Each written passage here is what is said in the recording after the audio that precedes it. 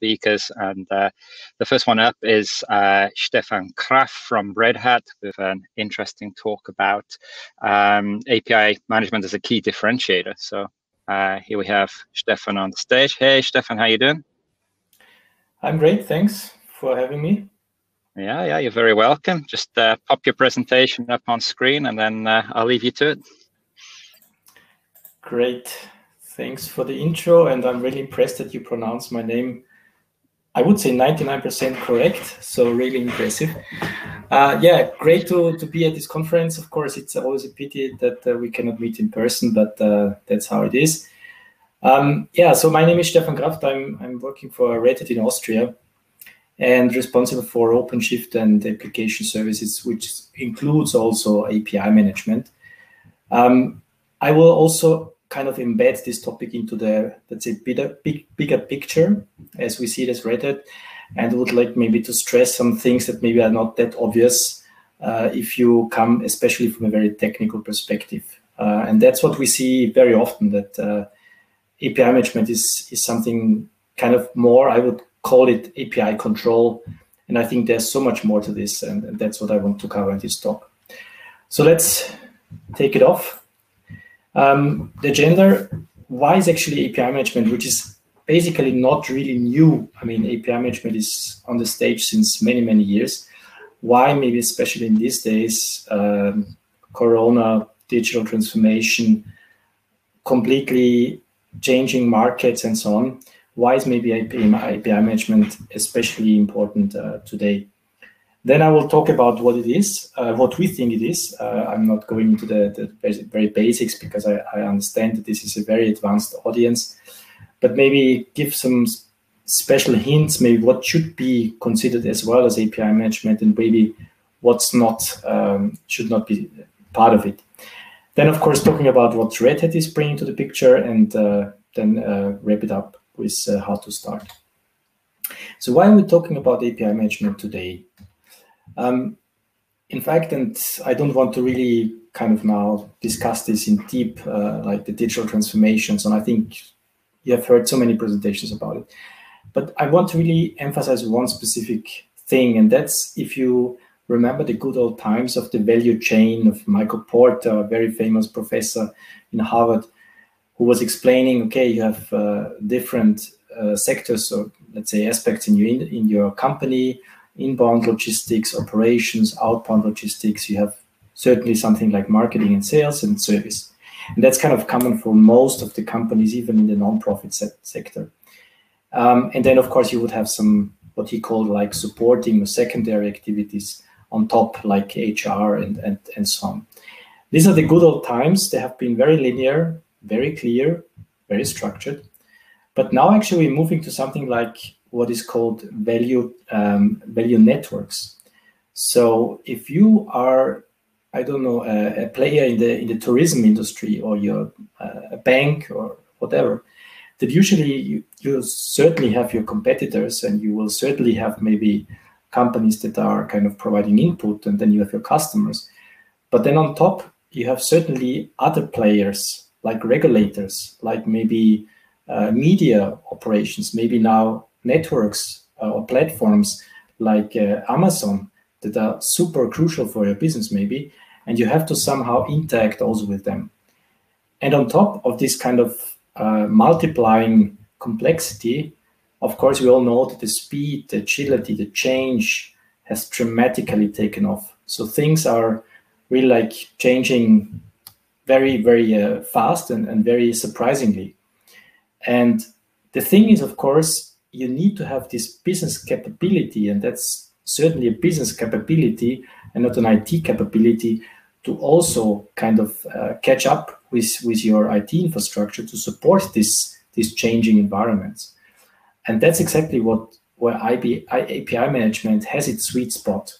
That basically, even though maybe your back office systems have some kind of stability, some kind of you know um, structures that that are like there for some some some years and some maybe even decades. API management gives you this kind of decoupling, this kind of flexibility to kind of still answer these uh, new requirements uh, even though maybe your back office systems more or less stay the same or cannot really catch up with that dramatic speed.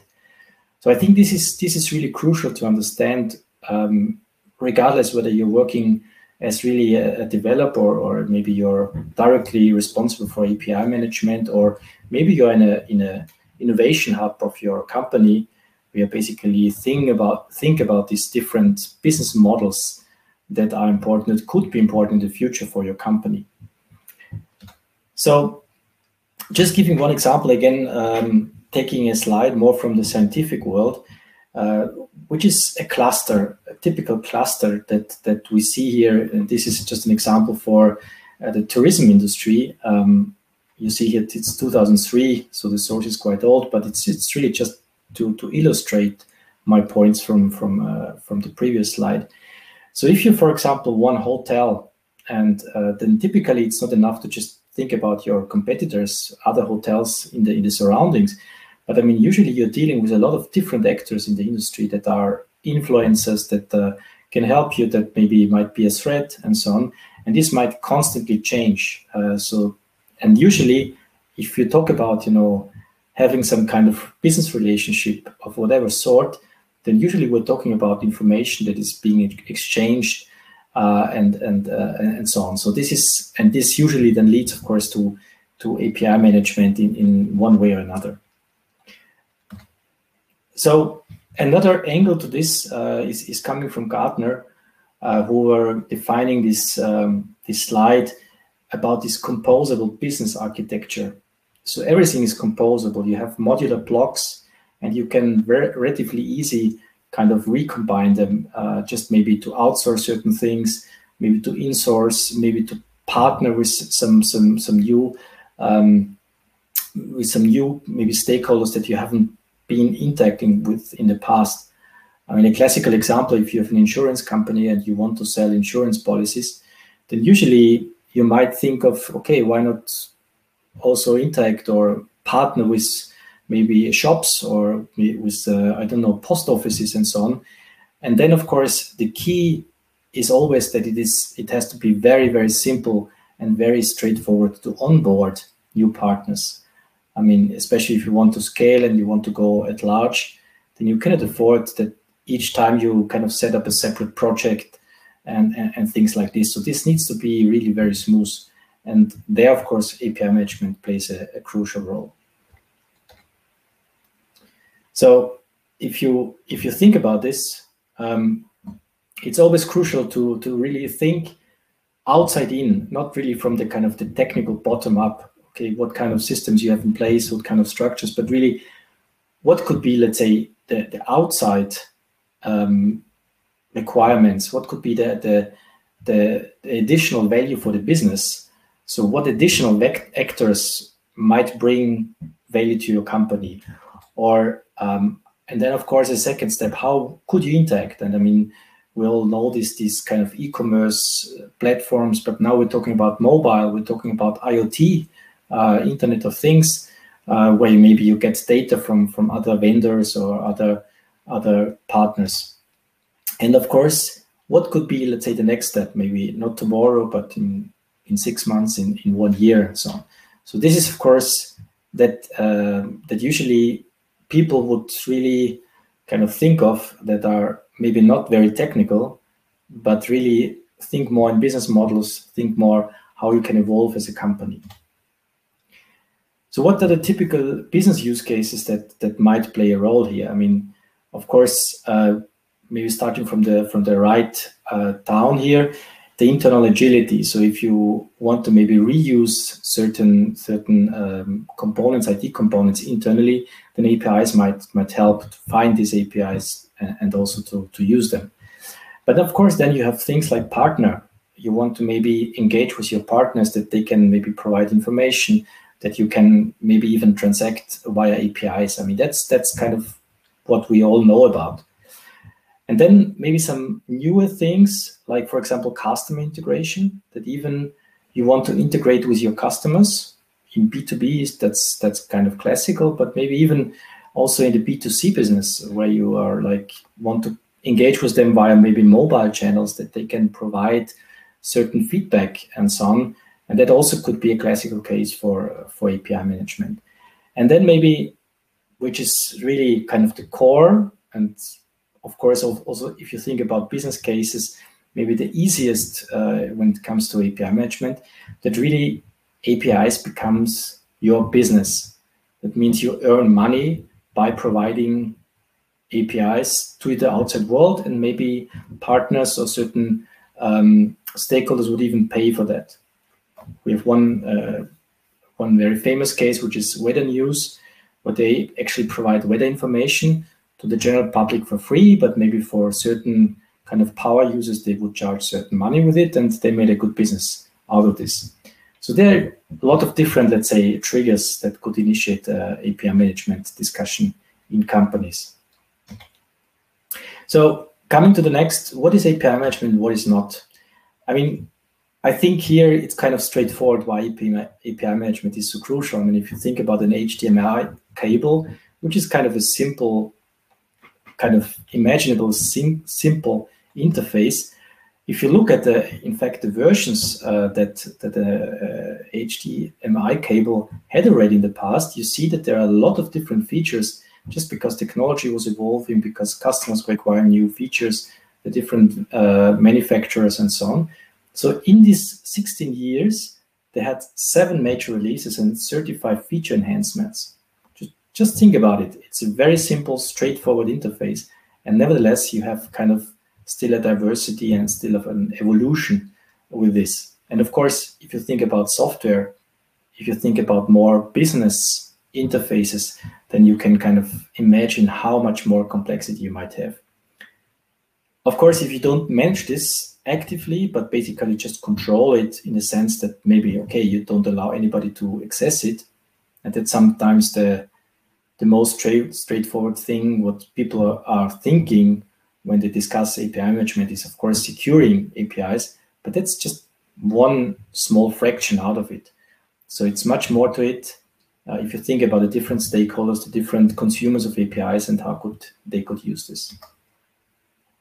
So if you if we uh, at Red Hat and, and if you discuss this with customers, then usually I'm using this slide, which kind of illustrates really the breadth of API management. And of course, it has something technical to it. No, no question about this.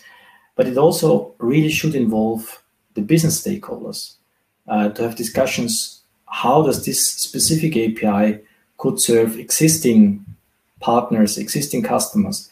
And how could this maybe serve customers, partners in the future, additional ones? How would this need to look different maybe that really additional consumers uh, would get a benefit of it? And that's actually, I mean, the consumers at the end of APIs are developers and users. So really keep these developers users, let's say, in the forefront of your thinking. What do they need? What kind of documentation would they need? How would you interact with them? How could you do and shape things different? Maybe that they can very easily uh, make use of, of your APIs. So what does Red Hat now offer for API management? Well, we, we do have a very broad solution, and this solution was really from the very beginning based on what we call agile integration. And agile integration is something that um, Gartner was actually coining already some, some years ago, um, saying that this is really their way to go when you think about integration, API management, uh, because usually this, this classical enterprise service bus, ESB, is really hindering this agility. So they also said it needs to be actually pretty much the same as you as you have uh, evolved in, in classical software development, be based on the DevOps, be based on continuous integration, continuous development, being part of this kind of of this classical agile circles that you have in software development. And that's how it looks in, in, in principle. You have this centralized integration from the past, which was on the one hand a good thing because it was kind of getting rid of this spaghetti code and these spaghetti architectures. Um, and you had, but usually very powerful, very centralized enterprise service bus in the middle. And that's actually how we see it going forward. being really decentralized, little modular, let's say, pieces of, of, of uh, integration logic, and always API first. Always think about APIs in the very beginning. So what are the, the cornerstones of the Red Hat approach? The first thing already mentioned, uh, our solution is fully distributed to allow decoupling. It is or making use of, of containers, which is obviously in, in IT and development the way to go to be really agile and always API first. That's kind of the cornerstones. And you see here the product names, um, let's say, linked to each of these, these principles. So the reference architecture that we are proposing is really if you have like the base microservices uh, in the in the bottom, this is usually what customers already have. To have something like a composition layer on top, uh, which kind of combines microservices, the base microservices together to make them really more relevant for the business. And then have really a decoupled layer where you actually expose your actual APIs. This might look a bit as, as overly complex, but it is really helping big time, as I said in the very beginning. If something is changing, maybe um, in the business, you want to onboard new uh, partners or new customers, but you cannot afford always to change your IP system, uh, sorry, your IT systems uh, like the layer three and maybe even the layer two. You can still do your changes in layer one because you have this this uh, decoupling approach. What is still very important is that, of course, this gateway layer needs to be very thin, very, very scalable, and really not becoming a bottleneck as such. So we really strongly propose that in this API exposure layer, you only have maybe security features, the business features, but don't do any, I don't know, transformation of formats or any other, let's say, implementation logic, which might really become a bottleneck uh, if you're scaling. And then, of course, you would have some some features that we would also provide with the with our solutions like caching, virtualization, messaging, and integration as such. So this is a bit more details to each of the layers, um, also with the uh, corresponding products. So how you might start? Usually there's already something in place. I mean, I hardly can remember having a discussion with the customer said, I don't know anything about API management. And in fact, I'm starting from, from zero. So usually there is some kind of technical gateway already in place. Uh, maybe you already are experimenting with some, some open source solutions, which is great to, to start with. Uh, but then I think it's really important to take this outside in approach that in fact you think what your consumers, what your partners, what your business might require on top. And for this, actually, we have different offerings to get started. Really having this outside-in approach, we um, have defined a workshop which is called API as a product, which is basically more talking from the business side, what could be requirements for, for APIs. And I will explain a bit more detail uh, in my, my last slide what this workshop uh, is about. Of course, you can always do a proof of concept with our solutions, uh, no problem, and you can even try it out. So the API management solution from Red Hat is called 3Scale, which is 100% open source. You can just go to the slide, uh, register and, and, play around and, and um, get, get a, a picture for yourself. Now, the last thing I want to cover is really this, this workshop API as a product because I think it's really crucial and gives a, a very important and interesting flavor to the whole topic. So how does this work? Well, usually we, we really ask from our customers to have these participants participants attending this, this workshop. So usually, of course, if there's already somebody who's kind of owning the API product management, then this person should be on the table.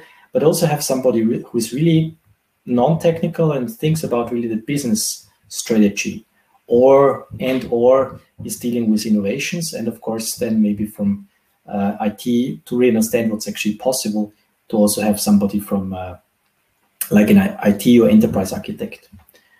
So usually what's the results um, is exactly this, this, um, these topics I was discussing in the very beginning. What internal external actors could be interesting maybe in the future with who we are not maybe interacting so far, or we do it maybe in a purely manual uh, or let's say uh, non-formal way. How could maybe they they be uh, onboarded, and um, what would this really let's say bring in terms of business benefits if we do this? And then, of course, what would be the gap? So, what would be needed for uh, realizing this? Well, the methodology that we're using is, is just classical IT uh, or strategy tools. Um, we would bring, of course, from our experience with customers, some lessons learned, and then really more or less moderate the, this, this discussion. So the last thing, what could be the, the agenda? Well, having a company introduction, of course, is important for us to really understand the business model.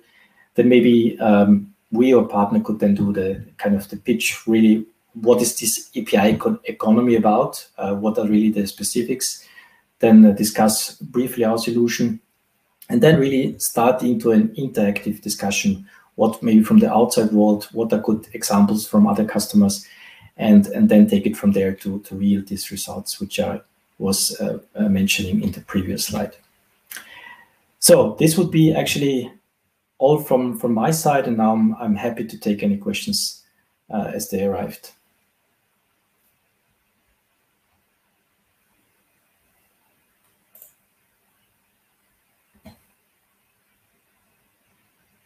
Stephan, hi, thanks. That was, uh, that was a good one.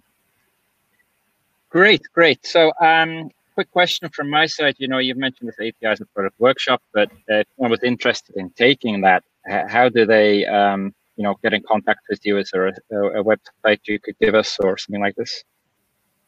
Well, the easiest, I mean, Red Hat is presented in, in almost all countries in Europe. So just reach out to your Hat counterparty, discuss um, what really is interesting for you, and then of course they will shape um, the workshop as, as as you might be interested. So we don't have an official website for this. It's really usually if customers or if we are in discuss discussion with customer, we propose something like this. Uh, and if you're directly interested, then just reach out either if you know already people there in, in your local countries, or you can of course also reach out to me, and I would then just route you through. Okay, so I'll stay on the Red Hat website and, and get chatting to someone there. Cool, cool. Yeah, I, I, like the fact that you're bringing out API as a product because that's my baby too. So I'm very happy. This you, gave, you, gave, one example of the uh, you know API as a business, um, and just very briefly, maybe you could expand a little bit on that. You know, who was the uh, who was the customer in this case? And Wait, the thing is, it's Weathernews that was actually uh, is one of our let's say reference customers that we officially can mention. The other ones like uh, Schiphol uh, Airport in in in, in Amsterdam. So. Um, or close to Amsterdam, I think it is. Yeah, right. It's it's in Netherlands. Uh, well, what they did is really, and, and that's actually an interest, interesting thing. And uh, Ellen, if you if you're specialized in this API as, as, a product, you know it very well, I'm sure. I mean, because if if we present this to customers, saying, okay, um, would this be an interesting business case for you to also maybe charge something uh, for for APIs, or at least maybe make it part of your offering? Um, and then very often customers like, well, we never thought about this. Um, and I don't think it's really for us. And then actually, I'm asking a simple question, which is, don't you have any data in your company that might be useful for somebody external?